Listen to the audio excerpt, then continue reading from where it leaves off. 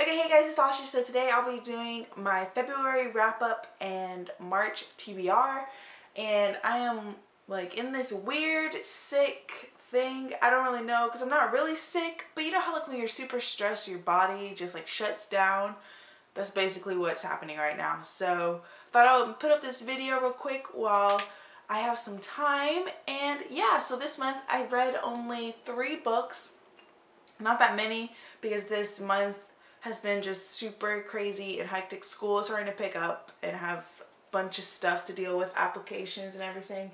So I've been dealing with that, but I thought I'll go ahead and show you guys. The first two books that I read were the Harry Potter for the Harry Potter um, read along at the beginning of the month. I read the second book, Harry Potter and the Chamber of Secrets, and I read the third book, Harry Potter and the Prisoner of Azkaban. And of course, I love these. These are rereads for me. I gave the second book 4 out of 5 stars and the third book 5 out of 5 stars. I love the third book so much. This is like the one that always just like kicks it off for me and I just want to read the rest of the series. So I don't know. Hopefully I'll pick up the fourth book soon. Okay, and then after that I picked up Horns by Joe Hill. I have no idea what made me pick this. I just really wanted to read it. And I'm going to do a completely separate review on this just because I know a lot of people um, want to hear my thoughts on it. So I thought I'd just make a separate video on it. But I really, really enjoyed it. I give it like 4 out of 5 stars.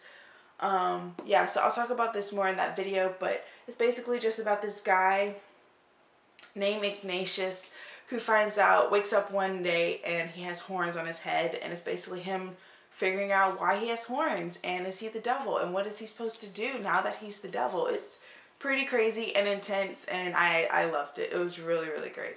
Okay, and then those three books are what I read and then for the last few days I needed something kind of like light and just entertaining to read after reading Horns. So I picked up Divergent by Veronica Roth and I'm so close to being done. I have like, I'm on page 455. I have like 30 more pages and I'll be done with this. So this will be the first book that I finish in March. And so, I mean, it's it's a good book. It's really entertaining and like action packed. Then the next book I'll be reading is Shades of Grey. I told you guys I was supposed to read this in February, but I just got distracted with Horns.